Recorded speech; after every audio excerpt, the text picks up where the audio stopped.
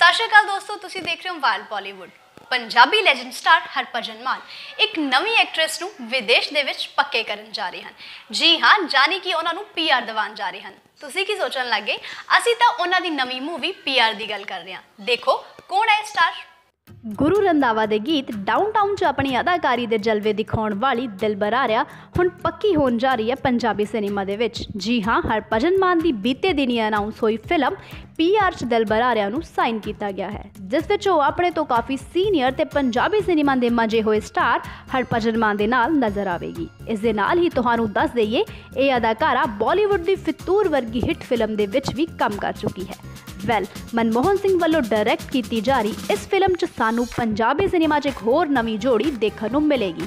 ਤੇ ਹਾਲ ਹੀ ਦੇ ਵਿੱਚ ਇਸ ਫਿਲਮ ਦੀ ਸਟਾਰਟ ਹੋਈ ਸ਼ੂਟਿੰਗ ਦੇ ਸੈੱਟ ਤੋਂ ਹਰਭਜਨ ਮਾਨ ਦੀ ਆਪਣੇ ਫੈਨਸ ਦੇ ਨਾਲ ਵੀਡੀਓ ਵੀ ਕਾਫੀ ਵਾਇਰਲ ਹੋਈ ਹੈ। ਤੇ ਲੱਗਦਾ ਹੈ, ਜਲਦ ਹੀ ਸਾਨੂੰ ਹੁਣ ਕਾਫੀ ਚਿਰ ਬਾਅਦ ਹਰਭਜਨ ਮਾਨ ਸਟਾਈਲ ਵਿਰਸਾ ਦਰਸਾਉਂਦੀ ਕਹਾਣੀ ਦੇਖਣ ਨੂੰ ਮਿਲੇਗੀ। ਰਿਪੋਰਟ ਬਾय ਵਾਰਨ ਬਾਲੀਵੁੱਡ